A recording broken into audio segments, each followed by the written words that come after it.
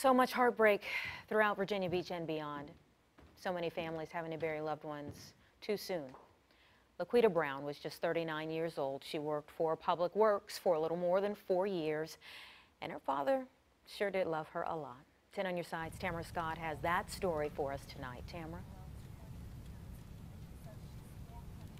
Well, I'm here at the memorial right outside of the police station, and what a difference a day makes. This has grown immensely. Now, here sits 12 crosses representing those 12 lives, and this one here is Laquita Brown's cross. I spoke with her father today, who described her as a reincarnated Mother Teresa, someone who always wanted to do something for others, someone who didn't deserve this.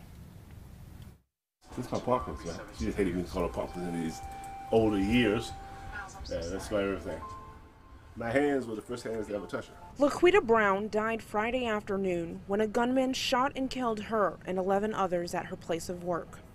Friday was her father Dwight's birthday. I went over my best friend's house, caused my birthday, his man cave, and we was watching the events folding on TV when my son called. He told me that my daughter was one of the people that had been shot. The worst words a father ever wants to hear. He said, Dad, uh, I got some bad news for you. Uh, your, uh, is, she been shot. Early in the afternoon, he thought he would find her at a nearby hospital recovering. That wasn't the case. Got there, and she wasn't there. Uh, I won't go into a lot of details, but she was never there. She was never at any hospital. She never made it up the building. Two days later, he says there's only one thing holding him together. My Heavenly Father. Anger is the last thing on his mind. I'm pretty sure there's lots.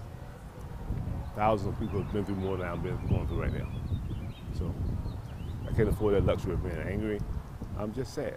He says because his daughter, who was fluent in three languages and made a mission to help others in life, didn't deserve this. Who needs a multiple magazine for what? I mean, I, I feel everybody has the right to defend themselves, but you don't need multiple magazines to defend yourself.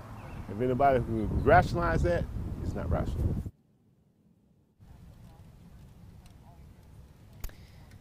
He says they had a great relationship, a great father and daughter relationship.